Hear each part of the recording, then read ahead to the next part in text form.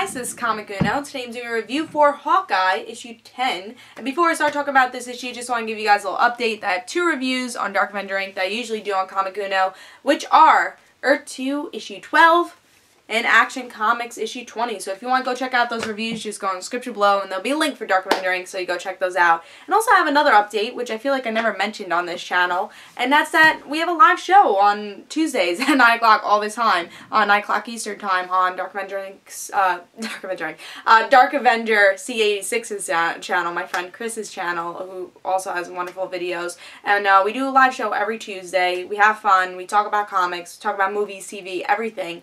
We answer you guys questions, and um, I just never mentioned it on my channel. I feel like I, I obviously mentioned on Twitter and my feed and stuff. I've never mentioned it on um, my of my videos. So I uh, definitely want you guys to go check that out. And um, there's old episodes also. Uh, the previous episode is actually on Dark Avenger Inc. because we couldn't do on Chris' channel um, last week. So if you want to go check that out and um, access questions, tell me in the comments below if you've heard of the, of the live show. What do you want with the live show? You know, what you would like to see with it. And uh, yeah, just tell me in the comments below. But let's talk about Hawkeye issue 10.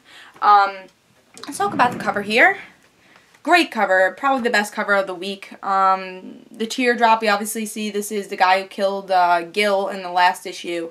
And um, we have the little bullseye over here. Very interesting cover, great coloring, and that I always love that painting style of a cover, and um, it does that perfectly here. Um, so great, great cover, but let's see if I like story.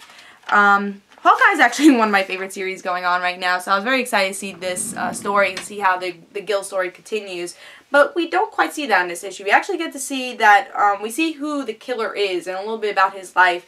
That he used to be part of uh, um, a circus and he joined up with the boys, you know, the jacket people and uh, the bros, I'm sorry. And um, we get to see he's trying to get closer to Kate, um, talking to her, but um, Kate obviously doesn't know who this guy is. And that's pretty much what happens. You just learn a little bit about this guy, not too much. And then we get to the end where he kills Gil. So we get to the end of what the end was with the last issue, except we get some fill-ins with this and some fill-in of the character himself.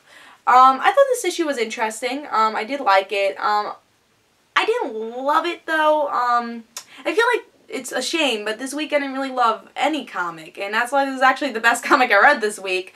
Uh, but it was a very good comic. I just kind of expected a little bit more with it. Um, I didn't really get attached to the character, and I wanted to see a little bit after Gil's death, and we didn't really get to see that in this issue. But I liked how they fill in the blanks, and I'm sure we're going to learn more about this character as issues go on. And I, think it was fun to see maybe Kate connect with this guy, even not knowing this guy. Kate saying, um, talking about her boss, you know, Clint a little, and getting a little annoyed how depressed he is. I think that was interesting interesting. Um, and seeing a little bit of Clint, um, a little like an extra, I would say, deleted scene after that first issue. Uh, I mean, that last issue we read with the um, his all his girlfriends, uh, not girlfriends, but friends that are girls, and his ex-wife. You know, all the girls in his life. So we saw kind of like a deleted scene, not knowing what he wants to do and he's a little depressed. Obviously that's what Kate's commentary is, that he's always depressed. So I think that was always, that's a fun thing. Um, so again, I felt like this is more of a deleted scene type of, type of issue where we get to see some things that we didn't see with the last issue, but you don't need to read.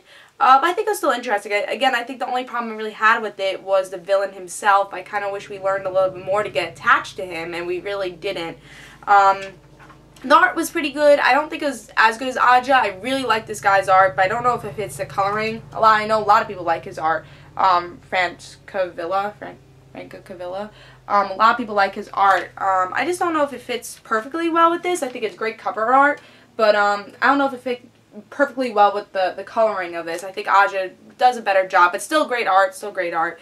Um, but yeah, I'm going to give this four stars. It's actually my pick of the week, even though it wasn't the best comic um, in the world and the best Hawkeye comic. It was still a pretty good comic. I enjoyed it. I just expected a little bit more from it. And uh, everything else was kind of below that standard. I still really enjoyed this story, you know, and it still had that Hawkeye magic, that magic, I mentioned magic again. Watched the live show to see um, well, we talked about magic. But, um, yeah, but we still have that Hawkeye magic that we've been having, um, with this series uh, since issue 1. So, uh, again, not the best Hawkeye issue, but that's a pretty uh, big standard for Hawkeye. Every issue is like five stars, four and a half stars. So even though this wasn't the best Hawkeye issue, doesn't mean this is not a good issue. So it's actually my pick of the week, four stars. Um, I'm just actually kind of disappointed with the other comics that came out this week. Um, either they were just kind of okay, but um, this was the best one, and it was a four-star comic. Uh, but yeah, pick it up. Definitely pick it up. It was a good issue, and especially if you really like the last issue, I think you'll like this one because again, it's a deleted scene type of issue. You get to see a little of Clint and Kate, and you get to see about this villain and even Gil's death again if you want to see that. But I hope you guys enjoyed. Um, this is Comic Uno, and guys, don't forget to follow me on Twitter for Comic Uno in the Random Situations, and I'll see you guys later. Bye, guys.